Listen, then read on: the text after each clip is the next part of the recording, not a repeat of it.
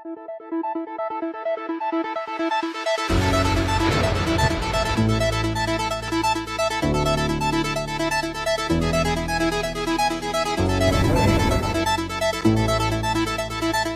πλαίσια του προγράμματος των επιστημιστικών τεχνών, έχουμε σήμερα την παράθεση η οποία γίνεται από τους φοιτητές του πτυχίου. Οι φοιτητές του κλάδου επιστημιστικών τεχνών πτυχίου του Inter College έχουν δημιουργήσει τα δικά τους μενού. Για να παρέχουμε πραγματικές συνθήκες εργασίας, εκμάθησης, οι φοιτητές μας διοργανώνουν παραθέσεις. Μια πρωτόγνωρη εμπειρία. Ε, προσωπικά πρώτη φορά ε, λαμβάνω τη θέση να είμαι σερβιτόρος σε ένα εστιατόριο. Είναι δύο μαθήματα, η κουζίνα και το σερβις, όπου σήμερα ουσιαστικά έχουμε την παράθεσή μας. Κάθε εβδομάδα αυτά τα μεδού τα εφαρμόζουμε σε πραγματικές συνθήκες. Θα έχουμε ε, full set menu για 50 άτομα. Επαγγελματικό επίπεδο.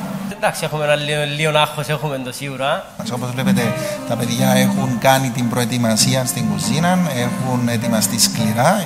Έχουμε καλεσμένους και πελάτες που έρχονται στο εστιατόριο μας και ε, έχουν την ευκαιρία να δοκιμάσουν τα φαγητά των, των φοιτητών μας.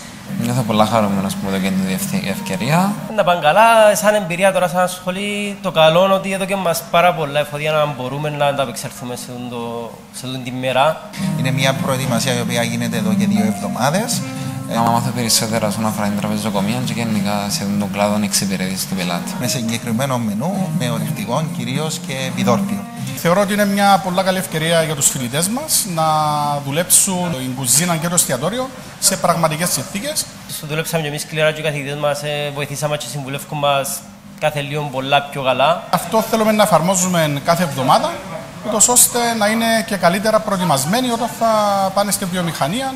Ψωμί, γλυκών, επιδόρπιων, όλα τα πιάτα παρασκευάζονται εδώ στη σχολή. Οι φοιτητές μας έχουν χωριστεί σε, σε group. Και παρέχουμε μια ολοκληρωμένη ε, εμπειρία στους πελάτες, στους τυχερούς πελάτες μας ε, για το συγκεκριμένο event.